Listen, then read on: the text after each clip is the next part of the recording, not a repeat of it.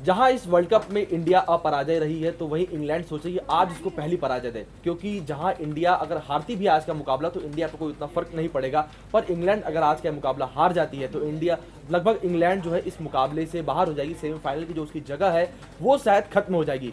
तो ये आज के मैच के ऊपर बात करेंगे। मेरे साथ मौजूद है आशीष। तो आशीष सबसे पहला सवाल आप तो यही है कि जो अगर हेड टू हेड देखे जाए तो दोनों टीमें बराबर की रही है। सात मुकाबले हुए हैं दोनों ने तीन तीन जीते हैं एक मुकाबला टाई रहा है। बिल्कुल। तो आज ये मुकाबला है यानी कि आठवां मुकाबला ये निर्णायक साबित हो सकता है कि जो भी ये मुकाबला जीतेगी वो हेड टू हेड में भी आगे जाएगी।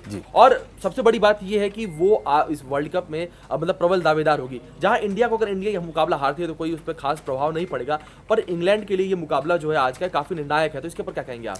देखिए प्रभाव तो भारत में पड़ेगा क्योंकि ऐसा नहीं कह सकते कि नहीं पड़ेगा क्योंकि आखिर के तीन मैच बचे हैं भारत के पास। इस वर्ल्ड कप में। तो भारत चाहेगा आज जीत के सेमीफाइनल में अपनी जगह जो है उसे पक्की कर ले उसके बाद दो मैचेस में कुछ चेंजेस करे टीम के जो बेंच स्ट्रेंथ है उनको आजमाएँ उनको खिलाएँ उन खिलाड़ियों को लाएँ उनका भी खेल देखें क्या करते हैं क्या नहीं।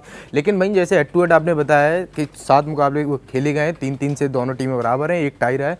तो वो जो टाई मुकाबला और जो आखिरी मुकाबला वर्ल्ड कप में भारत और इंग्लैंड के बीच हुआ था वो दो हज़ार ग्यारह वर्ल्ड कप में बेंगलुरु के मैदान पर खेला गया था।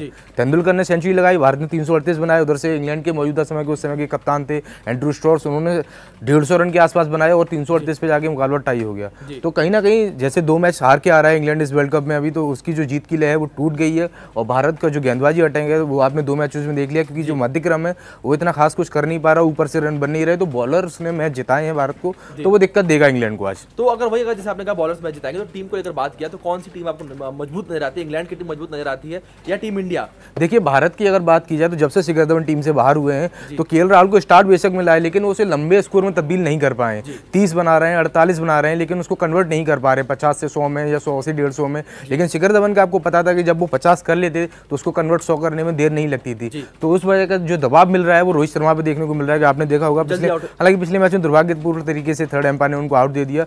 लेकिन दो मैचेस में उनके रन नहीं आए हैं इसका खामियाजा भारत को भुगतना पड़ा है और भारत तीन सौ तक नहीं पहुँच पाया है ढाई सौ या दो सौ तीस तक ही सिमट के रह गया। क्योंकि मध्य क्रम में चौथे नंबर की बल्लेबाजी अब भी टीम इंडिया के लिए सरदर्द बनी हुई है। जी तो आप कहने का ये कि शिखर धवन जो टीम से बाहर हुए उसका प्रभाव काफ़ी ज़्यादा बिल्कुल। पड़ रहा है क्योंकि रोहित शर्मा और शिखर धवन की जो जोड़ी थी वो साथ में काफ़ी बेहतर प्रदर्शन करती थी और दोनों का जो तालमेल था काफ़ी बेहतर था। बिल्कुल। तो वो शायद तालमेल अब बैठ नहीं पा रहा है इस वजह से रोहित शर्मा को भी देखता है वो जल्दी आउट हो जा रहे हैं कोई बड़ा स्कोर नहीं कर पा रहे हैं। तो ये सही बात है। बिल्कुल। जैसा मैंने आपको बताया कि शिखर नहीं है टीम में उसका असर मिल रहा है और वहीं सबसे बड़ी बात शिखर ओपन छोड़िए मध्य क्रम में आ जाइए आप। विराट कोहली लगातार चार फिफ्टी लगा चुके हैं इस वर्ल्ड कप में। शानदार फॉर्म में अगर कोहली के रन नहीं आएँगे किसी दिन जल्दी जैसे कल का मैच आज का मैच है जो इंग्लैंड और उसका भारत का अगर उसमें आउट हो गए कोहली जल्दी तो फिर मध्यक्रम क्या करेगा? धोनी के ऊपर ज़िम्मेदारी आ जाती है। हालाँकि धोनी थोड़ा स्लो खेलते हैं स्टार्टिंग में लेकिन जिस तरीके से पिछले मैच में फिनिश किया उनको पता है उनका गेम प्लान क्या है वो क्या चाहते हैं क्या स्कोर टीम के लिए सही रहेगा। तो सबसे बड़ा सरदर्द चौथा नंबर मुझे लगता है आज के मैच में विजय शंकर को बाहर बिठाया जाए और दिनेश कार्तिक को बुलाया जाए क्योंकि उनके पास अनुभव है मैच बड़ा है तो उनका अनुभव आज काम देगा। तो अगर बात किया आज मैच को लेकर आपको क्या लगता है आज का मुकाबला कौन सी टीम जीतने के लिए प्रबल दावेदार है? देखिए भारत मेरे हिसाब से बिल्कुल भारत जीतना चाहिए। हिंदुस्तानी हो तो आज हिंदुस्तान जीते और अपना सेमीफाइनल में जो जगह है उसको पक्की करे ताकि दो मैचेस में जो बाकी खिलाड़ी हैं उनको आजमाएँ। जी बिल्कुल। तो जैसे आपने देखा कि आशीष भी यही कहते हैं कि आज का मुकाबला जीतने के लिए जो टीम इंडिया है वो प्रबल दावेदार है। वही टीम इंडिया के साथ थोड़े बदलाव करने चाहिए कि यानी कि जो चौथा नंबर है उसको विजय शंकर को हटाकर दिनेश कार्तिक को अंदर लेना चाहिए। तो ये काफ़ी बेहतर साबित होता है इंडिया के लिए। अब ऐसे में देखते हैं कि आज का मुकाबला कौन जीतेगा। मगर विन परसेंटेज में अगर एक बार आपको बता दो विन परसेंटेज भी यही कहते हैं कि टीम इंडिया आज का मुकाबला जीतेगी।